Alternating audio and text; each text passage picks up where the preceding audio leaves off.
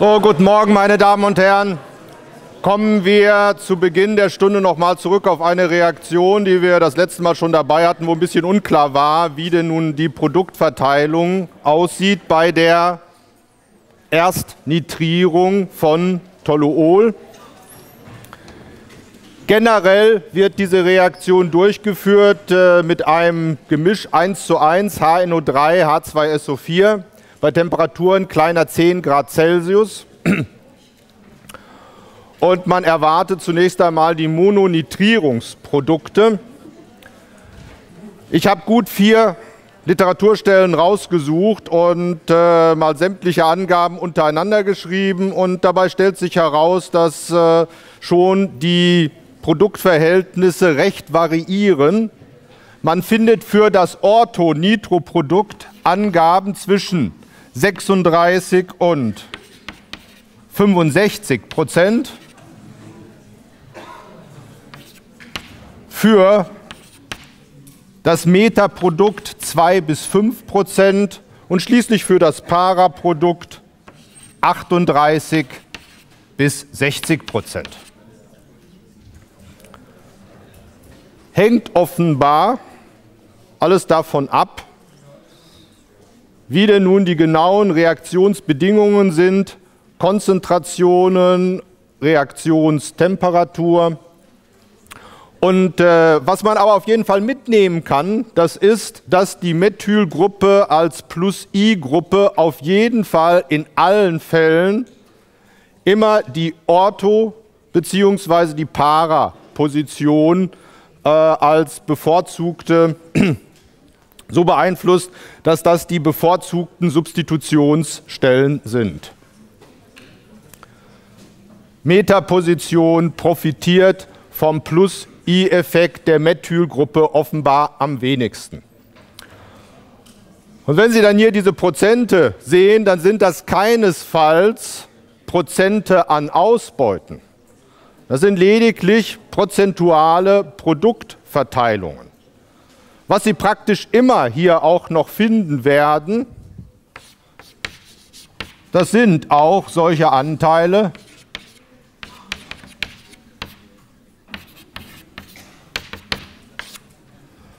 von der Dinitro-Verbindung. Weil nach der Erstnitrierung zwar der gesamte Aromat bereits desaktiviert ist, aber die Metaposition zu der Nitrogruppe am wenigsten, ja, haben Sie diese Reaktion, die Zweitnitrierung in der Regel als recht langsame Reaktion, aber ein bisschen finden Sie immer. Ja, also irgendwo was zwischen 2 und 5 Prozent an letzten Endes Anteil neben diesem haben Sie dann davon. Ja. Und wenn Sie sich einmal angucken, äh, wie denn die realen Ausbeuten dann aussehen bei Praktikumsvorschriften, dann findet man plötzlich, dass äh, äh, ja, selbst wenn Sie also hier bei relativ tiefer Temperatur gearbeitet haben, keine allzu lange Reaktionszeit und hier diese Ausbeute dann nicht nach oben getrieben worden, der Anteil von dem Nitro-Produkt nicht nach oben getrieben worden ist, haben Sie ja trotzdem noch die Aufgabe, halt diese Verbindung voneinander zu trennen und äh, umkristallisieren, mehrfach umkristallisieren, bis man dann zum Beispiel die Paranitro-Verbindung sauber hat, naja, okay, dann können Sie schon mal mit 20% Ausbeute, Ausbeute dann zufrieden sein. Auch wenn vorher der Anteil irgendwo bei 50 bis 60% vielleicht gewesen ist. Das ist die harte Realität, die Sie auch noch im OC-Grundpraktikum kennenlernen werden. Okay.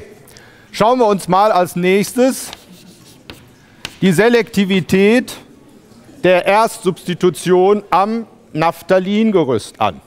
Und zwar als Beispiel die Reaktion mit SO3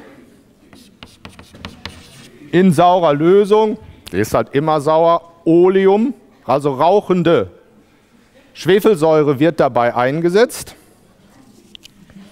Wenn Sie Reaktion bei 80 Grad Celsius durchführen,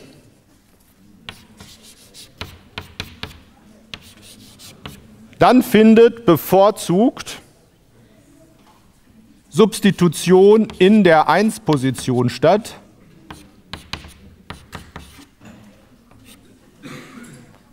Hier das zunächst gebildete Carbenium-Ion. Zeichnen wir mal mesomere Grenzstrukturen ein.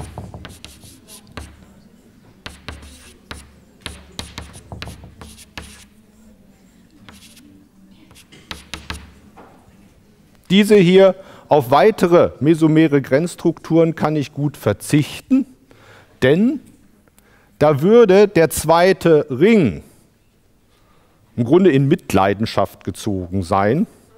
Okay, natürlich wirkt sich das Carbenium-Ion auch auf die Elektronendichte im zweiten Ring aus. Aber wir brauchen hier nicht die mesomeren Grenzstrukturen in unsere Überlegungen mit einzubeziehen, weil sie eine geringere Bedeutung haben. Also generell mesomere Grenzstrukturen, wo auch noch der zweite Ring in der Aromatizität aufgelöst ist, die können Sie getrost bei Ihren Überlegungen vergessen. Ja, und nun noch minus H+.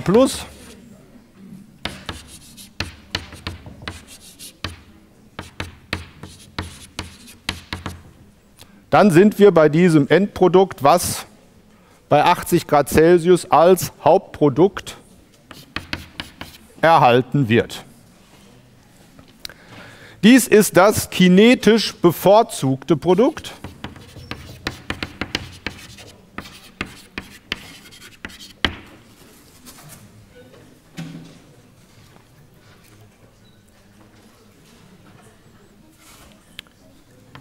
Allerdings befindet sich hier die SO3H-Gruppe in räumlich deutlicher Nähe zu diesem Wasserstoff. Das hier wäre die 1-Position, das hier ist die 8-Position. Man spricht in diesem Fall von der sogenannten Peri-Position. Und hier haben wir eine sterische Wechselwirkung, eine Peri-Wechselwirkung.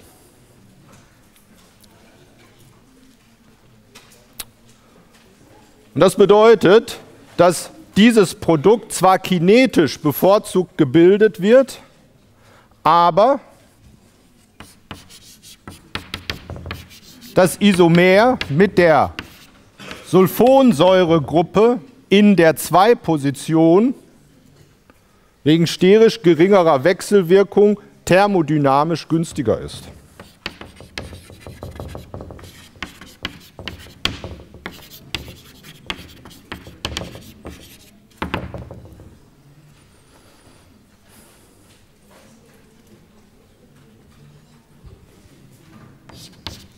Jetzt sind all diese Reaktionen Gleichgewichtsreaktionen.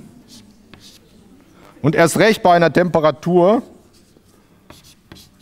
von 165 Grad Celsius geht die Reaktion wieder zurück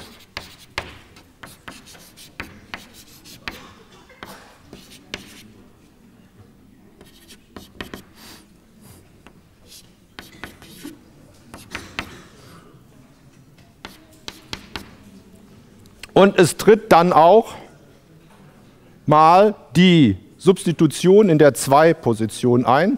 Und hier sehen Sie schon, dass diese Zwischenstufe energetisch weniger günstig ist als das, was wir hier haben, denn wir können hier nur eine einzige mesomere Grenzstruktur formulieren, wo der zweite Benzolring, der zweite aromatische Ring, unangetastet bleibt.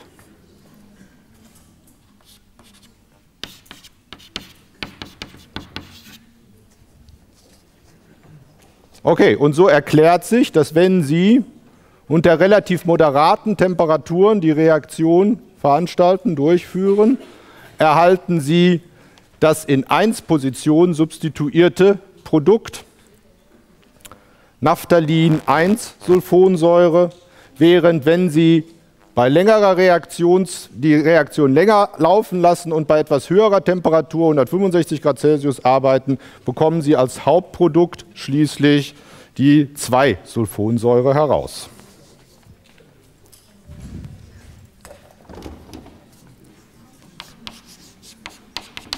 Zweitsubstitution am Naphthalin hier mit einer Hydroxygruppe.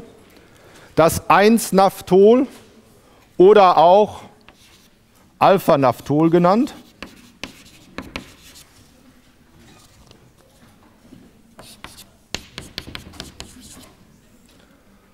reagiert ebenfalls natürlich mit Elektrophilen und dann in dem Ring, welcher die bereits aktivierende Gruppe trägt. Und Sie erinnern sich dran, die OH-Gruppe hat zwar einen Minus-I-Effekt, aber einen sehr deutlichen Plus-M-Effekt, stabilisiert Mesomer, das sich bildende Carbenium-Ion. Und äh, das funktioniert natürlich am besten in dem Ring, wo die OH-Gruppe dran sitzt. Ja. Und als Hauptprodukt erhalten Sie hier das Paraprodukt und äh, als Nebenprodukt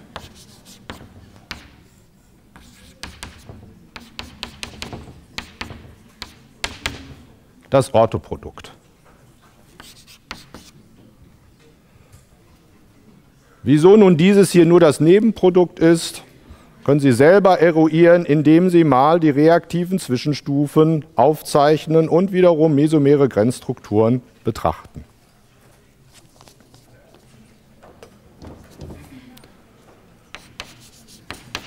Wo es ein Alpha-Naphthol gibt, gibt es natürlich auch ein Beta-Naphthol.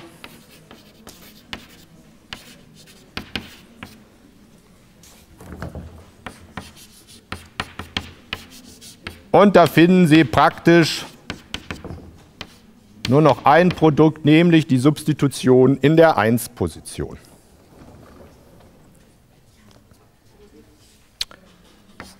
Schauen wir uns mal an, was passiert, wenn wir bereits eine Nitrogruppe am Naphthalinring sitzen haben. Naphthalingruppe übt einen Minus-I-Effekt aus und was noch viel wichtiger ist, einen Minus-M-Effekt, wirkt stark desaktivierend auf die elektrophile Substitution am Aromaten. Das tut diese Gruppe aber hauptsächlich in diesem Ring, an dem sie sitzt. Bedeutet also, wenn wir hier eine elektrophile Substitution machen würden, dann würde die stattfinden hier an dem benachbarten Ring, nicht an dem besonders stark desaktivierten Ring. HNO3, H2SO4, so ungefähr 0 Grad Celsius.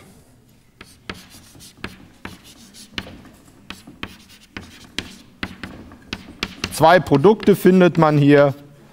Einmal das 1,5 Dinitronaphthalin.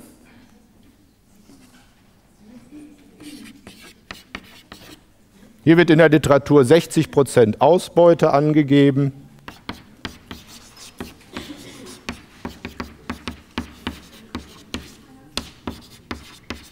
Plus die 1,8-Verbindung, das 1,8-Isomer, wo man eine 30-prozentige Ausbeute erhält.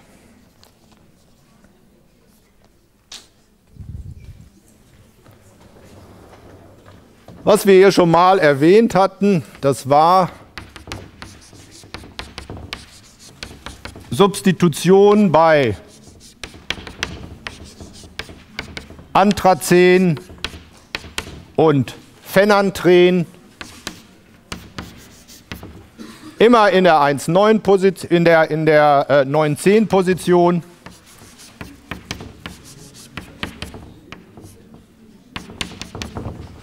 Hier die 9 Position, dort 10.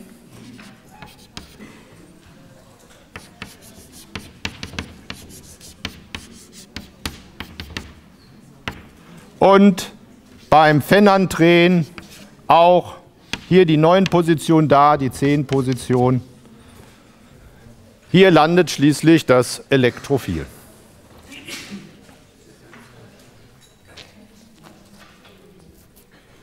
Ja, natürlich auch deshalb, weil mesomere Grenzstruktur die Sie hier formulieren würden für die reaktive Zwischenstufe.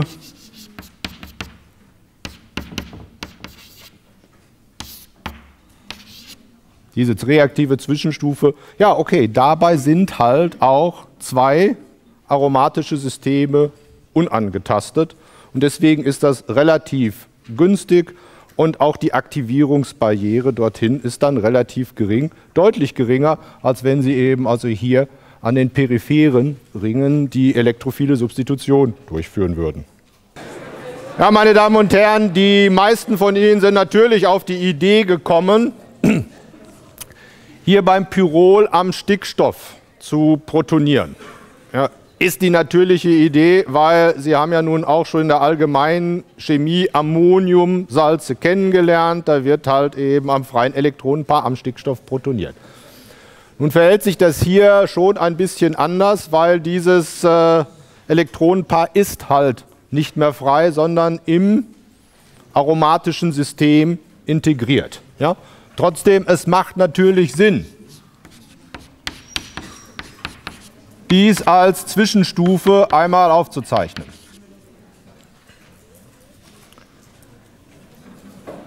Hier Minus, dort Plus. Mesomere Grenzstrukturen entfallen hier. Ihnen kann keine weitere mesomere Grenzstruktur einfallen. Dann sollten wir uns mal überlegen, was passiert, wenn wir in der 2-Position protonieren. Oder was passiert oder wie die mesomeren Grenzstrukturen und die Stabilität des Systems aussieht, wenn wir in der 3-Position protonieren.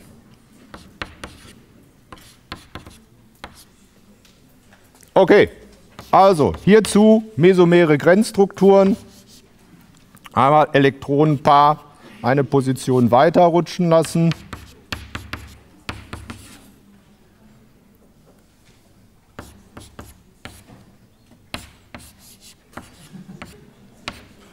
Und der Stickstoff, das Elektronenpaar des Stickstoffs kann sich dann auch an der Mesomerie beteiligen.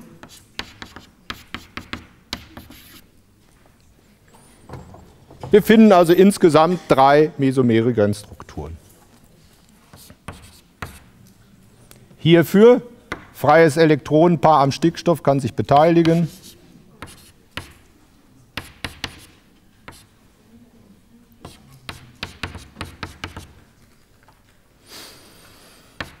Plus und äh, ja, okay, vergessen wir mal das x minus hier daneben nicht. Ja, und jetzt ist das einfach nur noch eine Sache des Nachzählens. Ja? Drei mesomere Grenzstrukturen, die vernünftig aussehen, bedeutet eine bessere mesomere Stabilisierung als bei zwei und erst recht als eben also nur noch eine mesomere Grenzstruktur. Und in der Tat Das ist der günstigste Fall. Protonierung findet beim Pyrol in der 2-Position statt. Die ist in der Regel nicht von langer Dauer, kein besonders stabiles Salz, weil halt die Deprotonierung dann wieder zum Aromaten zurückführt. Ja, aber wenn Sie nun anstelle von HX halt ein Elektrophil angreifen lassen, ja, Friedel-Crafts-Acylierung oder eine Bromierung oder sonst etwas, ja, dann findet die elektrophile Substitution am Pyrol in der Tat in der 2-Position statt.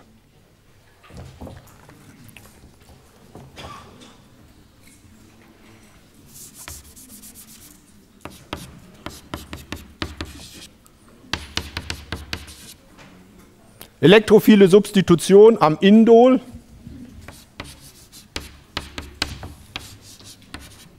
Das ist dann nicht mehr an der 2-Position, sondern in der 3-Position. Also das ist 1, das ist 2, das ist 3. Und warum ist das so?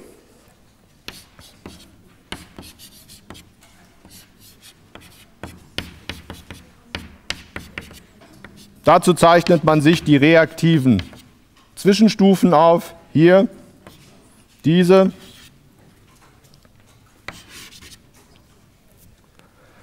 Hier können wir dann noch eine zweite mesomere Grenzstruktur formulieren. Die Beteiligung des Elektronenpaares am Stickstoff an der Mesomerie. Wenn Sie hingegen in der 2-Position das Elektrophil angreifen lassen, ich zeichne es in Klammern hier mal daneben hin,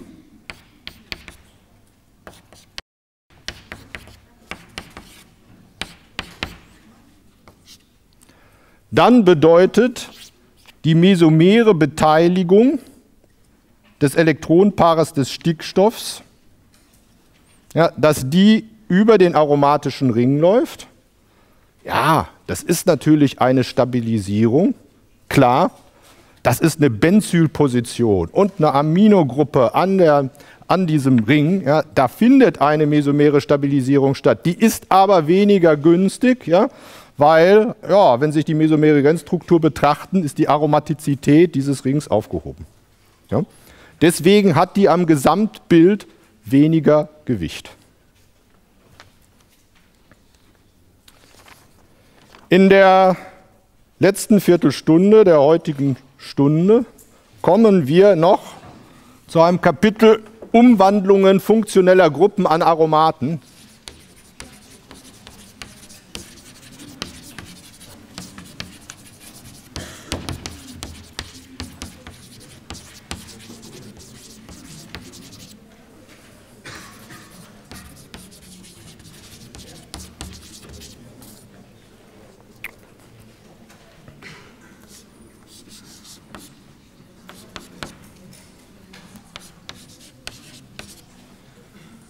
Es ist schon wichtig zu wissen, dass Sie eine Nitrogruppe reduzieren können.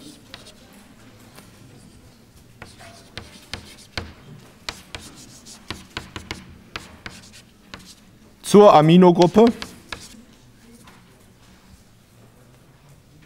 Und in der Tat werden Aniline über diesen Weg hergestellt, in der Regel erst Nitrierung des Aromaten und anschließend die Reduktion. Gibt da verschiedene Methoden. Zink HCl, Eisen HCl, Wasserstoff in Statunas Candy als äh, ähm, reduzierendes Agens, ja, oder auch ähm, Wasserstoff an Übergangsmetallkatalysatoren unter Druck, da bekommen Sie auch die Reduktion hin.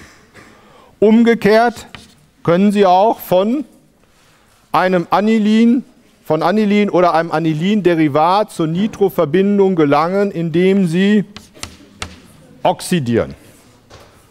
Zum Beispiel mit Persäuren oder einem Hypochlorid. Verschiedene Oxidationsmittel. Wobei in der Regel die Reduktion von der Nitrogruppe zum äh, Anilin schon die sauberere Reaktion ist. Die Diazotierung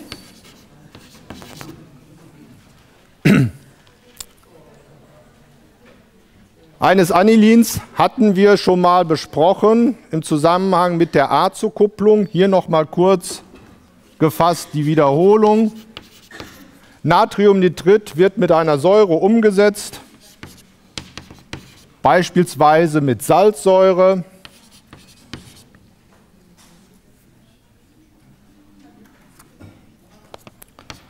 Natriumchlorid wird gebildet, H2O abgespalten und Sie erhalten das Nitrosyl Kation im Prinzip dann als Nitrosylchlorid. Und das ist das Elektrophil, was an Anilin angreift. Also Anilin plus das NO plus hier am freien Elektronenpaar kinetisch bevorzugt.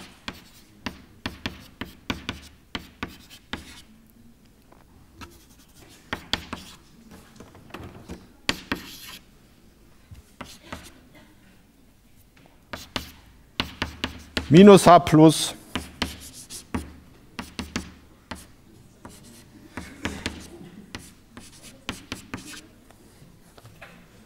Dann sind Sie bei diesem Nitrosoamin, also ein Nitrosamin.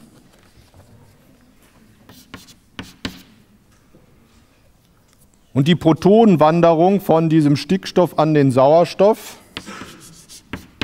können Sie als eine Tautomerisierung betrachten.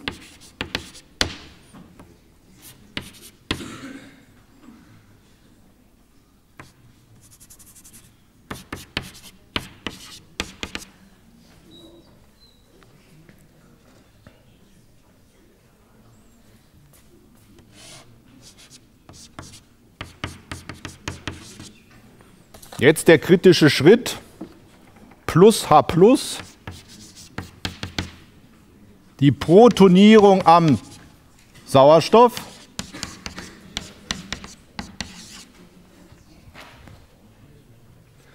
Die zwar ungewöhnlich ist, weil der Sauerstoff natürlich weniger basisch ist als die Stickstoffe hier, aber die Protonierung am Stickstoff, das bedeutet ja nichts weiter als die Rückreaktion hier, die Rücktautomerisierung. Und das sind nun mal Gleichgewichtsreaktionen und gelegentlich wird am Sauerstoff protoniert. Damit haben wir eine H2O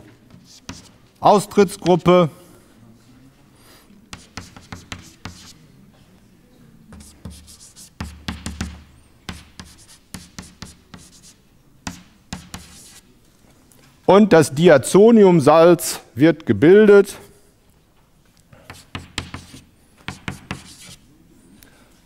Fügen wir hier noch das Gegenanion hinzu, sonst ist ja kein vollständiges Salz. So, ein Diazoniumsalz. Damit können Sie nun die Azokupplung betreiben oder auch verschiedene interessante Dinge machen, nämlich die Diazoniumgruppe umwandeln. Dazu haben Sie einige Möglichkeiten. Also das Diazoniumsalz A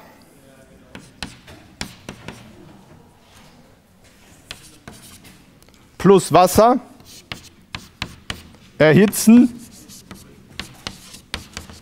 und Sie erhalten ein Phenol und das nennt sich Phenolverkochung.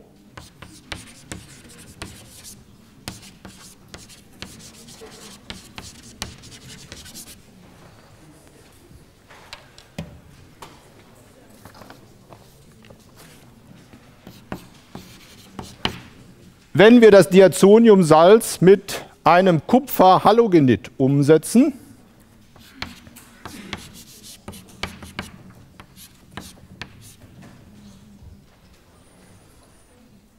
Dann wird die Diazoniumgruppe gegen das Halogenid ausgetauscht.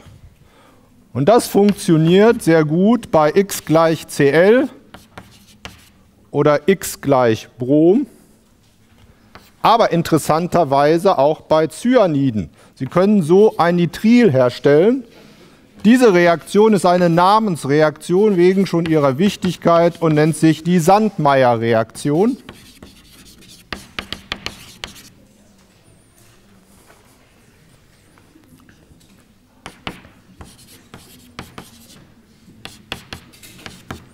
Setzen Sie das Diazoniumsalz mit Natrium Tetrafluoroborat um.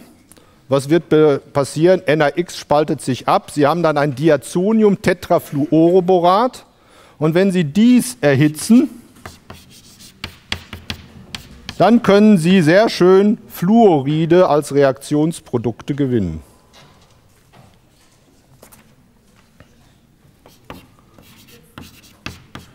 Mit Natriumjodid oder Kaliumjodid gelangen sie zu den entsprechenden jodierten Aromaten. Und was auch Sinn machen kann,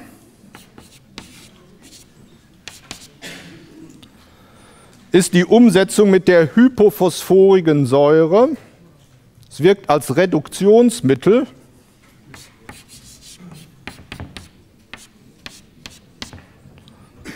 Und dann ersetzen Sie die Diazoniumgruppe durch einen Wasserstoff. Was soll das, werden Sie sich fragen. Ja, Sie können auf diese Weise eine Aminogruppe als Steuerelement für die Zweitsubstitution oder eine Drittsubstitution einsetzen und dann diese steuernde Gruppe entfernen. Das gleiche gilt dann natürlich auch für die Nitrogruppe. Sie setzen die Nitrogruppe als Steuergruppe für die elektrophile Substitution, für die Regioselektivität ein, reduzieren die dann zur Aminogruppe und über das Diazoniumsalz und anschließende Reduktion entfernen sie diese Steuergruppe wieder.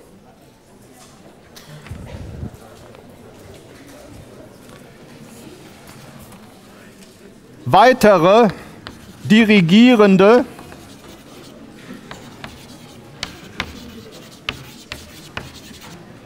dirigierende Gruppen, die Sie auch wieder entfernen können, haben Sie schon kennengelernt.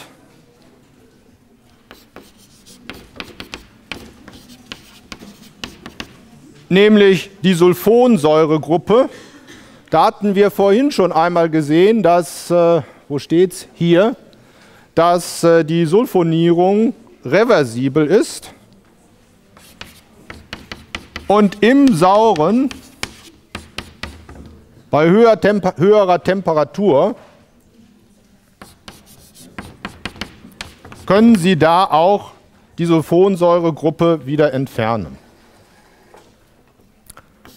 Eine weitere Gruppe, mit der das möglich ist, das ist die Terzbutylgruppe.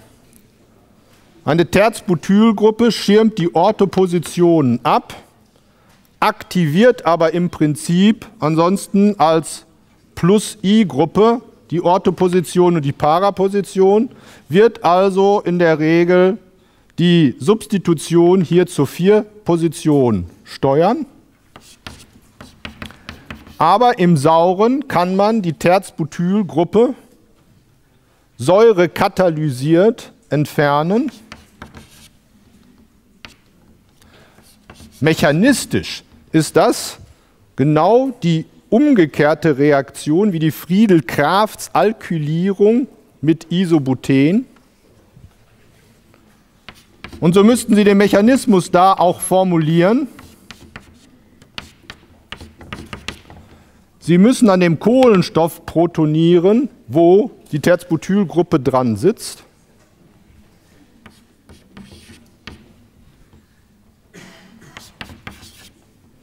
Das Gegenanion kann dann als Base fungieren.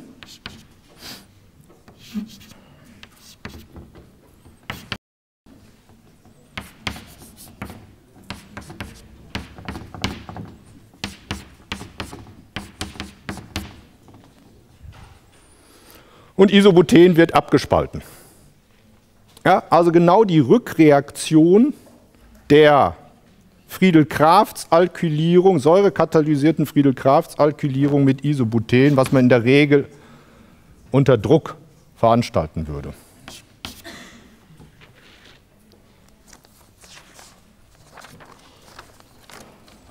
Schauen wir uns abschließend noch eine Anwendung an,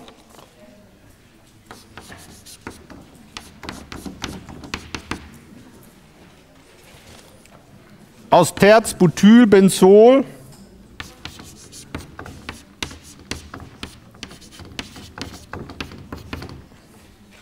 soll das 2-Nitro-substituierte Derivat gebildet werden.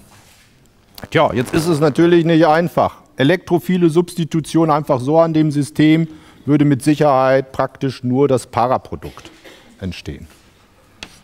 Okay, das Ganze kann man so hinkriegen.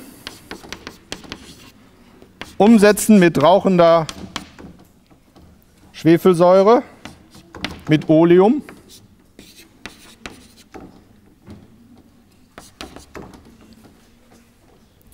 Wir bilden die entsprechende Sulfonsäure, die 4-Terzbutyl-Benzolsulfonsäure. Nun erfolgt mit der Nitriersäure HNO3, H2SO4 die elektrophile Substitution, obwohl sterisch behindert, ausschließlich hier in der äh, zwei Positionen in der Orthoposition zur Terzbutylgruppe, weil durch den starken Minus-M-Effekt und durch den starken Minus-I-Effekt die Orthopositionen zur Sulfonsäuregruppe sehr stark desaktiviert sind.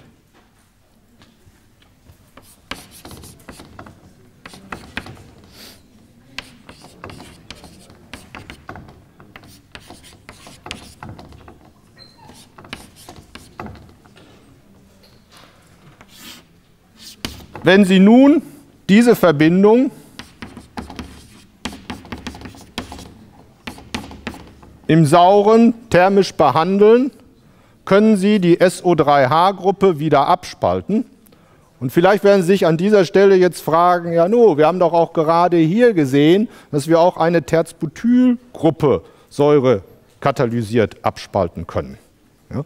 Das wird in diesem Fall dann aber doch möglich, weil Nachdem die Nitrogruppe hier eingeführt ist, wird die Elektronendichte mesomer durch die Nitrogruppe an dieser Position stark herabgesetzt und äh, die ja, Protonierung hier äh, stark behindert. Und diese Protonierung brauchen Sie hier in dieser Position, um die Terzbutylgruppe abzuspalten. Ja? Ein paar weitere Beispiele dieser Art werden wir am kommenden Freitag dann durchnehmen. Und am Freitag werden wir bereits anfangen mit Carbonylreaktionen, Aldehyde und Ketone sind das weitere Thema. Bis übermorgen.